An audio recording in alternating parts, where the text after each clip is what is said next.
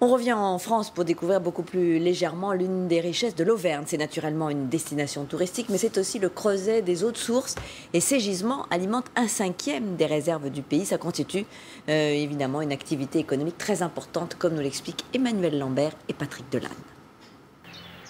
Au cœur des volcans d'Auvergne, l'eau minérale est d'une très grande pureté. Ici, neige et eau de pluie traversent lentement des sols d'exception pour donner naissance à de nombreuses sources.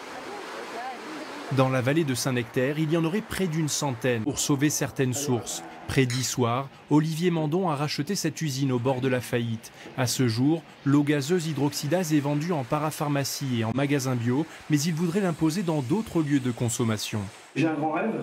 Euh, en fait, c'est euh, comme l'hydroxydase est une eau qui est extrêmement euh, digestive, ça serait d'arriver qu'en fin de repas, dans l'ensemble des restaurants, ils proposent un digestif, ce qui est très compliqué aujourd'hui avec l'alcool, va proposer hydroxydase. Il y a un siècle, 500 sources étaient exploitées par l'homme dans le massif central. Aujourd'hui, il n'y en a plus que 109, mais l'Auvergne demeure toujours la première région productrice d'eau minérale de toute l'Europe.